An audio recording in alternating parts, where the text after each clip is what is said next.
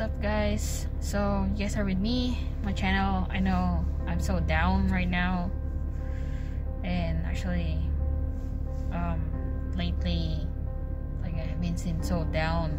I don't know what's going on but yeah, actually last week I went to the doctor to be checked because I've been having headache and then dizziness and then um, feeling throwing up but I literally didn't throw up but um, um, actually my mom thought thought it was just migraine because when you have a migraine it's good that you pull it out but it been like take some days already like been not really feeling good and then I went to the doctor and then to be checked she gave me medicine um, she said um, if the medicine doesn't work then I have to take the COVID test so um, today I had uh, an appointment for COVID test so uh, wish me luck guys to like 1:50 a.m. Uh, p.m. so wish me luck guys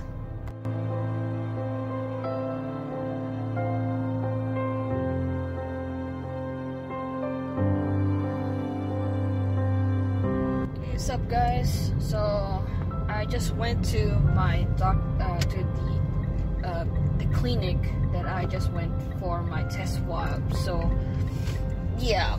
Uh, it just it's not really uncomfortable uh, actually for that because like it it swabs your nose right? It's like oh my god.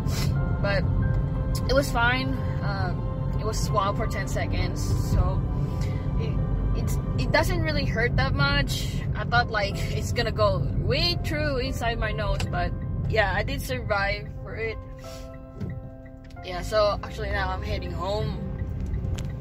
I'm not really feeling well right now, so yeah, heading home. So I'm gonna wait for the test. Uh, they said is two to three days. So yeah, let's see what's the results gonna happen. So wish me luck, guys.